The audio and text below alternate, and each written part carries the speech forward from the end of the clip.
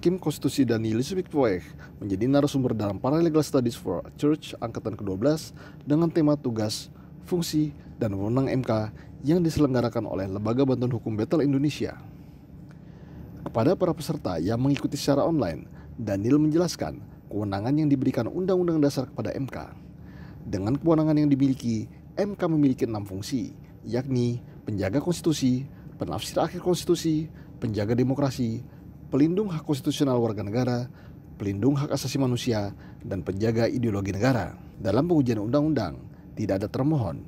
Presiden, DPR, MPR, DPD, serta lembaga lainnya hadir sebagai memberi keterangan dan tidak menjadi lawan pemohon.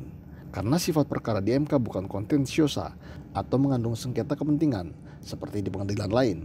Kekuatan hukum putusan MK bersifat final, mengikat, dan tidak dapat dilakukan upaya hukum lainnya.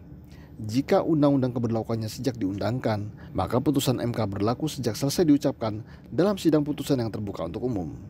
Yusmik mengatakan, tidak ada lembaga yang menjadi eksekutor putusan MK, sehingga pelaksanaan putusan MK tergantung dari kesadaran para pemangku kebijakan dan masyarakat. Ilham Riyadi, Hendi Prasetya, MKTV News melaporkan.